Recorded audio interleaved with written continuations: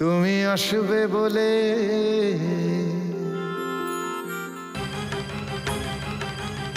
রাহুলটা যে কি করে না? দাঁড়া আমি একবার খোঁজ করে আসছি। আমি জানতাম রাহুল আসবে না। রাহুল আসবে। নন্দিনী তুই তো অনেকক্ষণ কিছু না খেয়ে আছিস। এক বিন্দু জল পর্যন্ত মুখে তুলিসনি। আমার কোনো অসুবিধা হচ্ছে না মা। কিন্তু রাহুল তো এরকম এর আগে কখনো কোনোদিনও করেনি। বরং বাড়ির সব ব্যাপারে ও সব সময় দায়িত্ব নিয়েছে। আমি অপেক্ষা করব মিষ্টি পিসি। রাহুল যতক্ষণ না আসছে রাত ভোর অপেক্ষা করব ওর জন্য।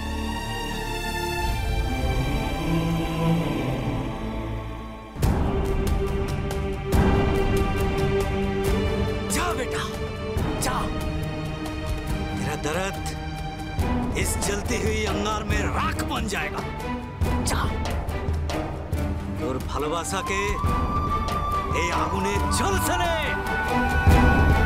যা আরো শক্ত হোক তোর ভালোবাসা যা যা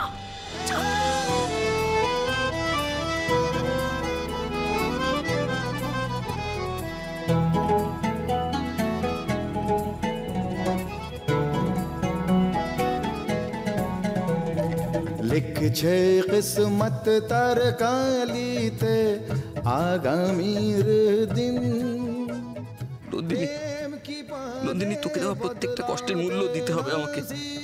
আমার জন্য ঝরে পড়া তোর চোখের জলের প্রতিটি বিন্দুর দাম দিতে হবে আমাকে।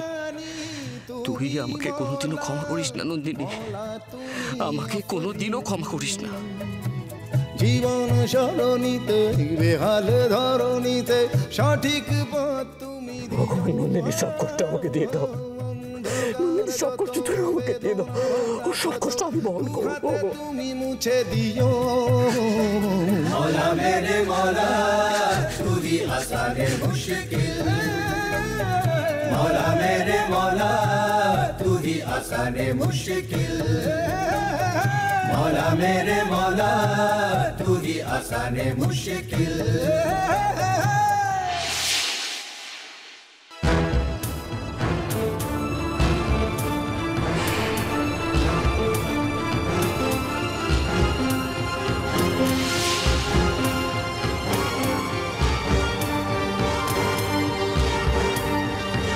সব কি করছিস, রাহুল?